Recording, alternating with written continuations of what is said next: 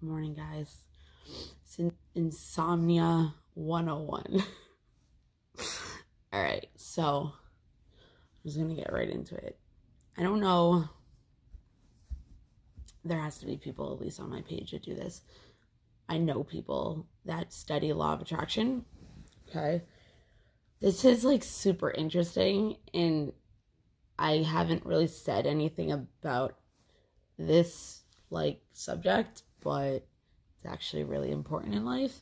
Um, at least that's what I believe. You can believe whatever you want.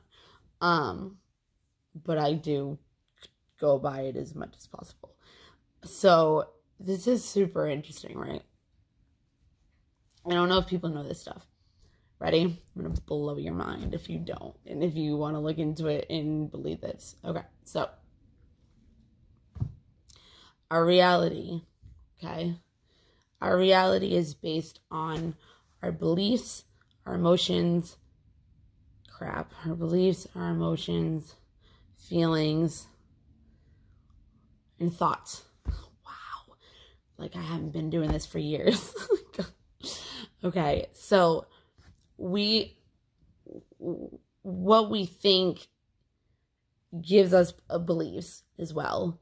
Um, they can be negative or positive, but they can turn into limited beliefs, which is when we'll be like, oh, I can't do this. Oh, I'll never be able to do that.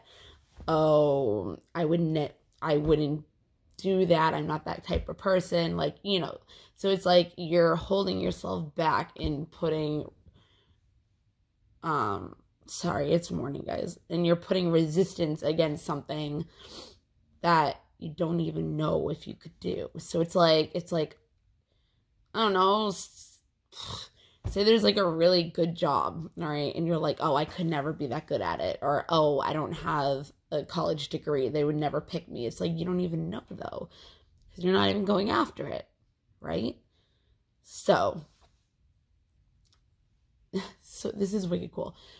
So, because of how we were brought up, we were conditioned into a certain way. We have certain beliefs that either came from society or our parents or our teachers or school teachers and friends and you know whatever um and they become our beliefs our internal feelings is what our external reality actually is so it sucks though because our conscious mind could be thinking that we're worthy of whatever or maybe not even realizing it but when we're growing up, we tend to program um, from the conditions that we're being like we're seeing. Okay, so if your parents were a certain type of way, you're gonna have a certain type of programming. Like they say, addiction is a disease.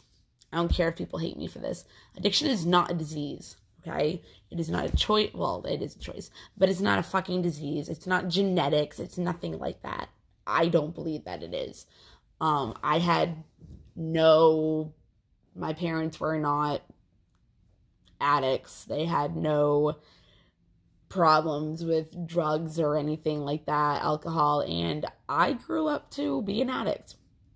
So, I mean, I had a huge problem with drinking. Um, I did other drugs, but it was mainly drinking and maybe some benzos. But as soon as I got pregnant, like, it stopped, but then I continued. Um, I think I calculated it to be four years of sobriety, but in between, like, Dawson being 11 and, well, Dawson being born, um, and him being 11, from him being born up until like three, I didn't drink. And then from like three to five, I didn't drink, but I still was. And it wasn't to the extent it ever was before because obviously then I had a kid and I had to take care of him and you know stuff like that. Like I wasn't an irresponsible parent but like I was still having a drink here and there or I'd go out and have one at the bar at like karaoke or you know stuff like that. Not like getting a belligerent and being an idiot like I used to. So even though like I was still drinking I don't consider it you know being an addict type way where I got out of it and was able to get out of that type of mentality. See what I mean? Choice, addiction, mentality. Um, but so even though it could be more sobriety time, I still was drinking and I like don't drink at all now. Like at all. Like when Alicia comes over, I'll drink. That's about it. Um, but not like I said to the extent of where it, I would say I need to not count it as sobriety time, um, or whatever, whatever. I don't fucking care. Anyways, so addictions, it it it's I believe it's an, an attachment style. I believe that you know when we're growing up we are formed into the conditions that our environment is and what we see as we're you know in childhood and all that um so i believe that if you're seeing a parent drinking and doing drugs and doing this and doing that it can either be a void to feel like the only way you're going to have that certain parent love you is to try to follow in their footsteps or when they see their parents or parents whatever um, get a certain type of way they see them turn to drugs or alcohol. So it's really the environment not really you know whatever like it could be their friend doing something and they try it like i don't know i guess there's an addictive pattern or addictive way but it's not a disease it's not and people can yell at me about this all they want. It's not going to change my opinion. It's not like I just think it's it's an excuse, honestly. And I dealt with an addict really, really, really bad, really, really bad, and myself and other people for like 15 years. So you can't convince me. Um, and if you want to bitch about it in the comments, go ahead because I'm not even gonna pay attention to it because that's not the point of the fucking video. Anyways, so it's really interesting how our beliefs growing up from things that have happened with our parents mold us into who we are and how we think and what our beliefs are as of today. But it's it's not hard to reprogram your mind. It really I mean it can be for some people. I was when I was when I was living at my old apartment, I used to walk my dog. Like in the morning time, I'd practice this stuff all the time. Like I'd listen to all these like YouTube people and like speakers and how to do this type of um you know stuff, the law of attraction um thing. And I could feel and I still do this to this day. I can feel me be able to tap into my subconscious mind. And when I was doing that, and I was actually doing good then, not that I'm not doing good now, but like just shit happened and I, I got off got off track. So um I can feel like my subconscious mind. And then like I could feel like a deeper sense, but I'm awake, I'm not meditating. Then I can find like a deeper sense, and then I found out that there's something called a super subconscious mind. And that's kind of like where it comes into play where like you wake up at the time that your alarm would usually go off, but you didn't have your alarm. That's like your super subconscious kind of thing. Um, your subconscious is like the wired thoughts. Okay, so think of your brain as a computer. Your your beliefs of when you were growing up is something that you thought of over and over and over again that it it put a file in your um computer files you know what i mean and it stays there until you can have that belief not there anymore. So a lot of us grow up thinking that we're not worthy. I mean, who doesn't? Like, it's still to this day, like, oh, I'm not worthy of love. Oh, I'm not worthy of that job. Oh, I'm not worthy of having a kid. You know what I mean? It's it's something of like that, and maybe you don't even say it, but you still think it subconsciously, not even realizing it, because consciously you can think you're the shit. You know what I mean? But it's a lie to your subconscious because it knows how you really feel. And our subconscious mind of how we feel and our thoughts and our beliefs, like I said, are what make our external reality. So, for an example, if you think the world is out to get you, you're going to have situations and people and shit that's going to come into your life that's going to keep making you believe that. Okay? If you feel like, you know, um, people only want you for sex, you're going to keep having people attract to you that only want sex from you. If you date the same kind of person and the same thing keeps happening over and over and over again and you're like what the fuck? It's because you have that belief that it's gonna keep happening over and over and over again. Right? Ready? This is like mind-blowing. So as a kid right? An example of how like a limited be- belief can come out of something that you would never think of. And this is why we have to work on our inner child because we don't even know this. So if you can go deep, deep, deep, deep, deep inside of your subconscious mind or your childhood eh, with your inner child, you know, um, in meditation or however you can get there, um, past life I wouldn't say past past life regression because that's more of your past lives, not this life. Um, maybe EMDR, whatever those things are, um, to bring it to light. So, or you can talk to your inner child. Like, let your inner child out of, like, go play, be a kid. Like, I do it all the time. but, um, and another way you can help heal your inner child is mother it or father it or whatever the way you weren't. So, if you feel like you were neglected as a child, again, you're going to grow up feeling neglected by people or situations or whatever, but it's not your fault. I mean, you can't help how you feel growing up when you're helpless and hopeless and you you know what I mean? But then in life, growing up, we have to find our way back to love. Okay? So, ready listen. This is actually really cool. Um, but it's sad, obviously, for us.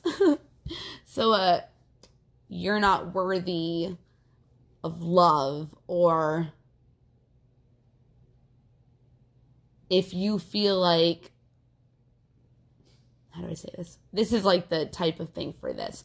So if you see something that you really, really, really, really, really want, um, whether it's a person, relationship, um, something at a store, or clothes, like something, and it's like like you really want it, right? And you think it's like too expensive, like instead you just won't get anything like at the store at all. And this is what it could stem from, right? So and we don't even realize it. And it's like it's also um universal laws that come into play that we also don't realize. Like like law of projection, law of reflection, law of attraction, law of cause and effect, law of karma. Like there's so many. Like there's so many that like if you don't know it it's it's also harder to understand how the universe works. And if you study it you'll understand better i promise. Like okay for i wish i had my papers and i i was going to do a video on this before. Um law of projection okay? Um for example it's like calling the kettle black. Is that calling the kettle black or whatever? Like pretty much like how you feel about yourself inside is how you're projecting it onto another person. So it pretty much if like, you know, you're judging a person being like, I don't know why sex stuff keeps coming to me. I don't those are just like whatever. Like you're saying somebody's a slut. It's like you either don't have confidence in yourself sexually or you know, whatever. But another one would be like, oh, I keep getting it like, oh, she's such a whore. Like, no, I don't know why these are coming to me because it's not the point. I'm not thinking this way lately. Um, but maybe my subconscious mind has those beliefs, and that's why it's popping up. And I do, I know I do. Um, but it has changed drastic, drastically. Um, and I can see it within my reality. See, if you can see your reality getting better, that means that you know internally your beliefs are getting broken and you're working on yourself and you might not even know that you are, but it might just be because you start believing in yourself because of maybe a spouse or maybe your friend or whatever. Like maybe you did really good on something and inspired you to go out there and do things that you wouldn't do normally. Um, it can come from any form, in any form. But so yeah, so projecting. Okay pretty much okay. So judging, that's what it is. It's pretty much judging somebody on something else that you actually judge about yourself. So if somebody's like, oh, she talks so much shit, da da da, it's like you're you're doing it right now. You're gossiping right now. Like if it is a gossiping way, but still, like something like that. You know what I mean? Like it's like, oh, well, it's pretty much being um what's the word? I can't think of the word. Discriminating, critical, but you do the same exact thing. What's the word? Hold on. What's the word? Crap, I can't think of the word. Oh man. It's not judgmental, it's another word. Um deceiving, no. Whatever. So the point is is that with law of attraction, um, oh, like if you say you're fat, you're just gonna keep getting fatter. Um if you say if somebody tells you that you cannot have a baby, you're going to believe that you cannot have a baby and not think that there could be a miracle where God could come into the picture and be like, you know what I mean? It's like if somebody, if doctor tells you that you're going to die within like six months, you have the belief that that will not happen. There's a huge chance that it will not happen. It's our beliefs. It's our beliefs. Like what our beliefs are is what can happen to us. If you believe like just whatever, all right? So, this is how a belief from childhood can fuck us up in adulthood. Ready? So, your mom or your dad or whoever, care, a caregiver, they tell you, um, you know, you're in the grocery store and you're little. You're like, I don't know, five or whatever. Because, like, from two to seven is when, like, our brain is the most spongy. Like, the most, like, it, it, it picks up the most crap that's around us and it sponges into us and goes into our subconscious, which, you know, it forms a lot of our beliefs. Anyways, so say you're in the grocery store and your caregiver, whoever you're with, goes, Yeah, you can have whatever. Remember, they say you can have whatever candy you want. Whatever candy. Okay? You come back with a big bag of chocolate dove things in or Lindors, right? As a kid, you do not realize that those are expensive. And the, the, caregiver looks at you and says, Are you kidding me right now? You are so greedy. I said you could have some candy, and you come back with one of the most expensive things. That's so ungrateful. Like, I can't believe you would do that. Now you get nothing. Do you see it? So it's like, somebody, your caregiver or whoever just told you to go get whatever whatever candy you wanted, whatever. Did not put any stipulations on it or restrictions, whatever candy you want. The child comes back with the candy that they want because they could have anything. That's what they were told. They could have anything. They come back with the candy they want and end up turning into a greedy person, ungrateful, get put down, get in trouble, and then get nothing at the end of the day. They don't know they're being greedy, and they're not even being greedy. They just don't know. And they were told they could have anything. So that's where a limited belief could come into play. You get it? So it's like, that's where it could be like, oh, I'm not deserving of that person. They're out of my league. Oh, I'm not deserving of that job because I am not that type of person. I just won't get it. You know what I mean? Like, it holds you back. Isn't that fucked up? Like, that's crazy. Like, absolutely crazy. It's fucking crazy. But it's like, so it, it's like we got to rewire our, bra- our brain. And they say the whole you know, if you do a different routine and do this, blah, blah, blah, like for 27, 30 days, whatever, like it will change, like, your thinking. And that is true. And it will become a routine and you can do that. But that doesn't mean it changes your belief on it or your belief system or your emotions towards it. Like, I don't know how else to explain that. Like, yeah, you can get yourself into doing something that doesn't mean it's changing your beliefs about it. Doesn't mean that you're still changing the fact that you think you're worthy of it or you deserve it or you're good enough. You know what I mean? So it's like at the end of the day, yeah, you're you're changing your routine up, but Do you have the belief that you never achieve anything? Eventually, you'll stop doing that because you're going to get it in your head where you start getting to the point where you are getting into that routine where it's coming and you know it's sticking with you and then all of a sudden your subconscious is like nope. Nope. Like you think you can't accomplish anything so we're gonna make it so you can't. And that's the thing like our subconscious is there for survival. It's there so we do not get hurt okay? Because it's like okay when something happened to us and we numbed those feelings our subconscious picked up on that and said okay this just happened. I just got hurt.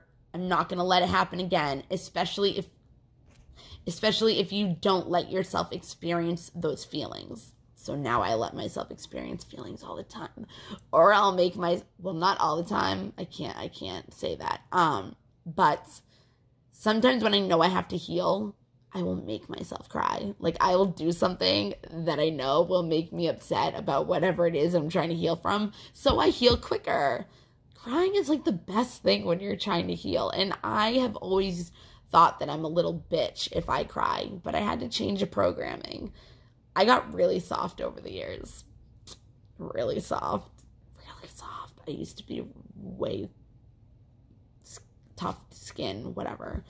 Um, but that's okay. It's actually better. Um, but yeah, so there was something I was saying. The routine thing. Yeah. So, for example, you know, say you were growing up and you had to rely on your parents or for money or whatever, and your your mother, father, whoever your caregiver was, grandparent, aunt, uncle, whatever, and they said, um, you know, it's ridiculous that you can't do things on your own. You're going to end up never being able to succeed in life and you're always going to have to depend on me. I learned in therapy, right? Because this kind of became, unfortunately, I don't want to admit this, but it's whatever because it's just what happened to me. This was my journey. This is what I was told, right? Um, and plus, I was doing drugs at the time where I should have been stepping up to the plate. So, kind of went backwards on, you know, that and dropped out of college like four times because of not going to blame it on my boyfriends because I chose to do that. And that's another thing. You can't blame anybody for anything. You cannot be the victim because you chose. Like, if you were in a bad relationship, you can't tell, say, even my relationship, my 13 year relationship, I always say to people, I cannot blame him for anything. Let me rephrase that. I cannot blame him for anything because I chose to stay in the relationship where I knew I was still getting hurt over and over and over again. Okay? Doesn't mean that outer external experiences do not hurt us, that people do to us or not even do to us, just do. It just is, okay? You cannot still blame that person because you can always choose your feelings about how you want to feel about the situation. And then, you know, people can be like, oh, well, it really hurt me. How can you just change, you know, your outlook on it or your feelings on it? And it's like, you can always change the story. And I told somebody this the other day because they were like, telling me how they went to a class and the people were like telling them like no you have to believe you can't blame anybody. It's like no yeah you're not supposed to blame anybody and you have to re- take responsibilities for your life and why you are where you are today. Because you chose to feel the things you did you chose to react the way you reacted you chose to believe believe the things you did which came out of your reality where you are now. Okay so you can't blame other people for that kind of shit. And when I say you can change the story, you can say to yourself, okay, you know, you can actually grow from the experience. Yeah, you're going to hurt and everything from whatever it was that the person did to hurt you, but you're the one that has the choice of how you want to feel about it. So, yeah, okay, say your boyfriend cheated on you. You going to stay with that person? Because you really can't blame that person if you're literally going to keep staying with that person and keep getting cheated on and this, that, and the other thing and get treated like crap, which also comes from us not feeling worthy. Because, or the way you're getting treated is how you feel about yourself and how you feel you deserve to be treated. Okay, that's another thing that really sucks because I look on back in the day of how I let people treat me. It's so sad. Like I'm I thought I thought I deserved that. Like jeez, jeez, Linda. But anyways, so you can either take it as pitying yourself and being the victim, like somebody did something to you, or you can take responsibilities for your own feelings, grow confidence from it, and know that you deserve better. So you're changing the story. Rather than feeling bad for yourself, you can look at it and say, this just shows me that I deserve better. Or if this person's cheating on you, this just shows me that, you know, you know, this person's never going to learn, whatever. But it's up to you to be able to be strong enough or to be able to honor your feelings, not be embarrassed by them, not judge them. Because you have every right to feel the way you do, but you can always forgive yourself and change the story. Okay? And it's hard. I'm not going to say I I'm like a pro at it and I'm like, "Oh, this person hurt me." Like, "Oh, you know, but I'm so happy now. Like I learned the lesson. No, it doesn't happen like that, and that's totally okay. Um, we're human. You know, we're all gonna make mistakes. We're all gonna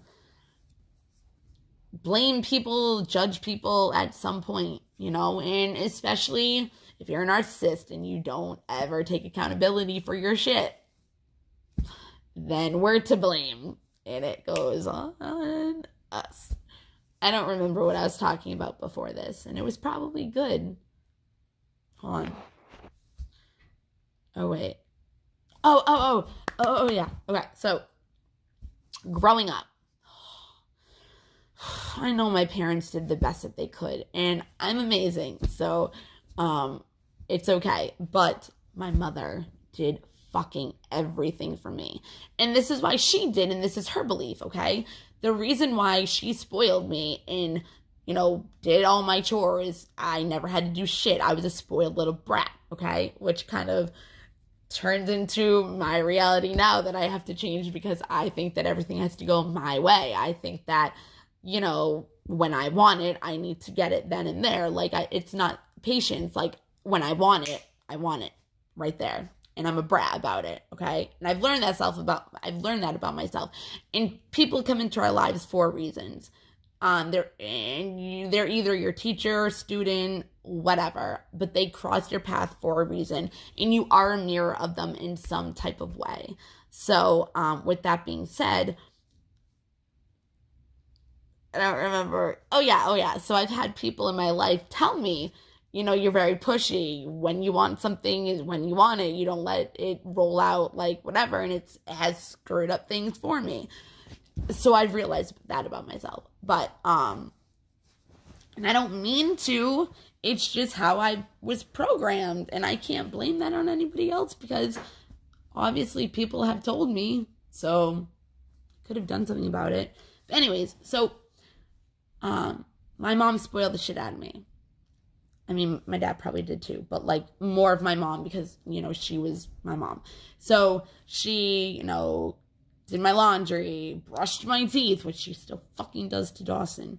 Um, you know, she would do everything for me. I had no chores, no chores growing up ever, ever, ever, no chores at all.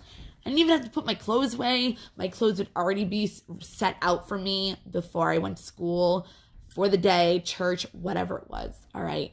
She still babies Dawson like this. And it really fucking pisses me off because I want Dawson to be way more responsible than I was because I grew up having no responsibilities.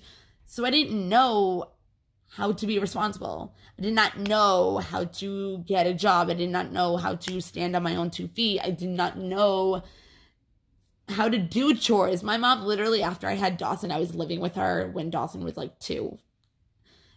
And like I moved back in when she he was like 2. And she's like, "You have a kid now. You have to do this, you have to do that." And I'm like looking at her like I never had to before. Why the fuck do I have to now? And I didn't even know how. So how the fuck do you expect me to know how to learn like do this dryer thing? Like, you know what I mean, or the dishwasher. But at the end of the day, I grew up not having to do shit. So when I grew up, like as an adult, I still felt like I didn't need to do shit and that people would just do things for me. This is not how the it is at all now. I'm talking about like years ago, like years ago. And I got upset to my, my mom for doing this, but it's not her fault because she grew up having to do everything for herself. Like she was a newspaper person, like throwing it like whatever at like 12 like she had to do everything for herself. She had to take care of her sisters her younger sisters because she was the oldest sister. Like so she wanted me to have that freedom. She wanted to do everything for me because she didn't get to experience and she knew what it was like. That's why i don't let i don't cater to dawson because i don't want that to happen to him. And i should stop saying don't and all that stuff because your subconscious mind does not pick up on those words. So I'm literally saying I want instead of I do not want. Um, anyways, so when I grew up, my mom said to me, you know, you're never going to be able to do anything in life without me, da da da da. So I'm in therapy, right? And I'm telling her this, and she goes, well, you were only fulfilling her her dreams of what she was saying. Not dreams, but what she expected from me is what I wanted to give her. And I felt like in my beliefs subconsciously if she said something like that i felt like i had to make her happy. So subconsciously growing up that's how i grew up thinking if she said this if something said like this or they expected something out of me i would do it. She expected me to have to rely on her. So i was just giving her what she wanted. Is that fucked up? I love it like it's hard, obviously, like not to understand it or, you know, whatever. I mean, it actually kind of is hard to ex, ex uh, that, uh, whatever, like that stuff, like being able to give examples. Like there's other ones too where like, you know, whatever. I, I can't think of it right now. I have like a list of it like written down of how like law of, oh, like if you say that person's a pain in the ass or no, hold on. If you say that person's a pain in the neck, you're going to create a pain in your neck. Like, especially if that person keeps pissing you off. Or for the reason why they're pissing you off, and then somebody else does it, which you will attract because you're complaining about it. So you're talking over and over and over about it. So it's going to keep attracting you, attracting, attracting you. And you're going to keep getting pissed off, pissed off about the same exact thing that that person did to you that you keep saying is a pain in the neck. Change your story and stop complaining. The more you bring it out into the universe, the more it's gonna manifest. So I just wanted to say that because I've been wanting to say it for a long time and I've been up since like three. because we just had a full moon and it's very hard to sleep right now because I usually can sleep like a baby. Imagine. And the full moon energy made a lot of people not be able to sleep and it's been hard for me to sleep lately. So I know it's the full moon energy. Um, so we're like literally like still passing through it. Like the energy is literally like just going through right now. Yesterday was a, a day. yeah. So I hope somebody learned something by this. Um, I do know a lot of this, a lot. And I do I have so much to offer to the world, like so much wisdom, so much knowledge, like whatever, but I don't know how to put it out there because I don't know what to say. So it's like if people ask me questions, I know how to answer them. As long as I really didn't know how to answer them. But it's like, I know so much about this shit. But yeah, I'm gonna go. oh, shift your paradigm too. It's a huge resetter for your brain. Huge reset. Huge reset shift your paradigm. Affirmations. Affirmations will not work unless you believe them, though. So, you know how, like, you're listening to a song and you somehow in your mind already know all the words? That's how you can do, uh, start off with doing affirmations if you don't believe them. You keep hearing it over and over and over in your head. Let it be like a song and let the affirmation subconsciously go over and over and over because our subconscious already knows everything. Akashic records, like they already know everything.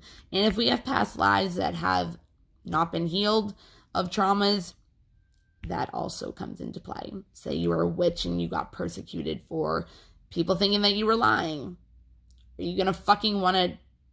How are you gonna feel if you have to lie? You're gonna feel like you're getting per- per- persecuted, like stuff like that. You know, if you feel very conscious about your body or you don't like showing it very much, you were probably a nun. Those kinds of things. You know what I mean? Um. So yeah, that's all I have to say.